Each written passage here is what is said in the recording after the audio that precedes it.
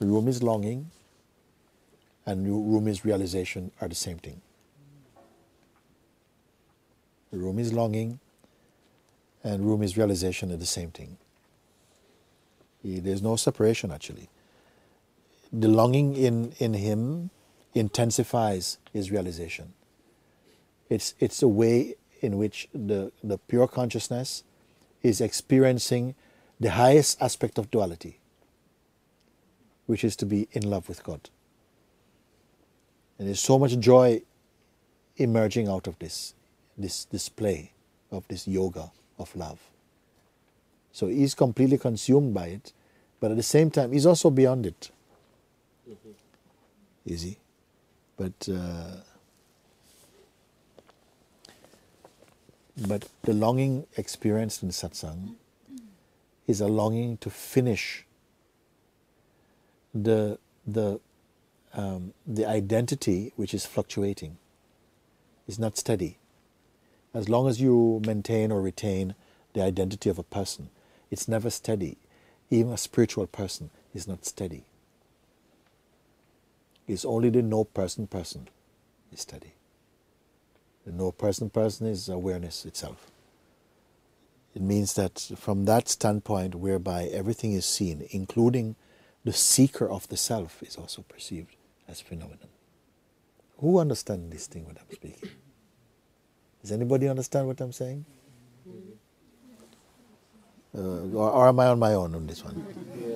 Yes. So there is uh, this. This is very important because it's at the very heart of this type of satsang. You see, is to be able to comprehend, to see beyond the realm of duality. That duality itself becomes phenomenal. Even in its highest expression, duality is still perceived as phenomenal. That's not dismissing. It is perceiving in the, in the highest way. Then you are directly realized and realizing that which is unchanging, that which is untouched, that which is timeless. Not as an abstraction, It is only because we believe uh, in our individuality, we believe so strongly in our human identity, why the Supreme is not revealed. Because we are afraid of our non duality. We take comfort only from duality. And at the same time, we are afraid of duality also. Because duality means begin and end. and non duality means timeless. So we are not really afraid of our timelessness. It's just a freak. It's a freaky mind that thinks, oh, I'm just going to lose because something feels comfortable uh, with, with, the, with our little bedroom of personhood.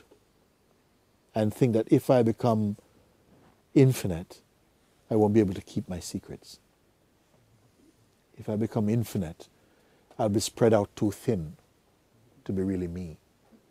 You see, these are the strangenesses of the mind. So when we're in the bubble of personhood, it feels like, oh, you know, this world is so big of personhood. But when you're coming out of it, you see it's just like a little bubble in the ocean. But only when you're coming out. It is only when you are moving from one state to another state that you can look at the state you're leaving and see its imperfections. When you're in it, it feels like it's your universe. You see? When you're coming out, it's just like your cupboard.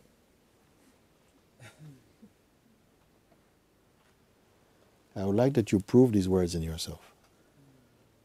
Mm. So,